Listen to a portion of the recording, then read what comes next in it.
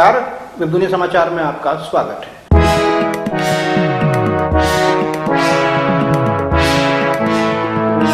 बाबरी विध्वंस मामले में बढ़ सकती हैं आडवाणी, उमा और जोशी की मुश्किल।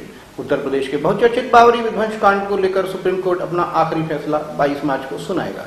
सोमवार को हुई सुनवाई में जस्टिस पीसी घोष और जस्टिस आर एफ़ नरीमन की खंडपीठ ने सीबीआई में हाजी महबूब अहमद की याचिका पर सुनवाई करते हुए ये तारीख तय की है। इस याचिका के ज़रिए इलाहाबाद हाई कोर्ट के फैसले को चुनौती दी गई है। सुप्रीम कोर्ट ने मामले में आरोपियों के ट्रायल में हो रही देरी को लेकर चिंता जताई है।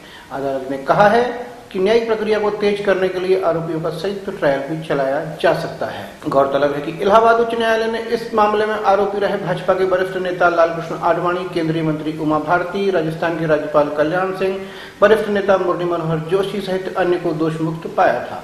अगर सुप्रीम कोर्ट फैसला बदलती है तो इन सभी नेताओं के खिलाफ पुराना मामला फिर से खोला जा सकता है। इससे पहले अदालत ने मार्च 2015 में आरोपियों से जवाब तलब किया था। सीबीआई ने उच्च न्यायालय के 21 मई 2010 को सुनाए फैसले को उच्चतम न्यायालय में चुनौती दी थी। Satish Pradhan, C R Bansal, Ashok Singhal, Giriraj Kishore, Sadhvi Ritambara, V H Dalmia Mahant Avaidyanath R B Vedanti, Paramhans Ramchandra दास, जगदीश मुनि महाराज, बी एल शर्मा नृत्य गोपाल दास, धर्मदास, सतीश नागर और मोरेश्वर स्वामी के खिलाफ भी आरोप हटाए गए बाल ठाकरे एवं कुछ अन्य के निधन के बाद उनके नाम आरोपियों की सूची से हटा दिए गए थे विवादित ढांचा गिराए जाने के संबंध में दो मामले हैं। एक मामला आडवाणी और अन्य लोगों के खिलाफ है, जो 6 दिसंबर उन्नीस सौ बानवे में बाबरी मस्जिद गिराए जाने के समय अयोध्या के राम कथा कुंज में मंच पर थे। जबकि एक अन्य मामला उन लाखों अज्ञात कार्यसेवकों के खिलाफ है, जो विवादित ढांचे में और उसके आसपास मौजूद थे। सीबीआई ने आडवाणी और 20 अन्य के खिलाफ भारतीय दंड संहिता की धाराओं एक सौ तिरपन ए, एक सौ तिरपन बी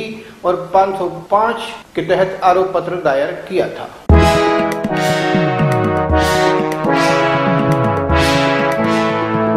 आइए नज़र डालते हैं आज की कुछ और प्रमुख हेडलाइंस पर। वाराणसी के रोहनिया में नरेंद्र मोदी ने कहा 2022 तक किसानों की आमदनी होगी दोगुनी। पुराने नोट 31 मार्च तक जमा नहीं करने के मामले में केंद्र सरकार और रिज़र्व बैंक को सुप्रीम कोर्ट का नोटिस। पाकिस्तान के पूर्व एनएसए महमूद दुर्रानी ने कहा, पाक में हाफिज सईद की ज़रूरत नहीं होनी चाहिए कार्रवाई। अमेठी ऐसी सपा प्रत्याशी गायत्री प्रजापति की गिरफ्तारी आरोप रोक ऐसी सुप्रीम कोर्ट का इनकार। आंध्र प्रदेश की राजधानी अमरावती में पहले विधानसभा सत्र की शुरुआत।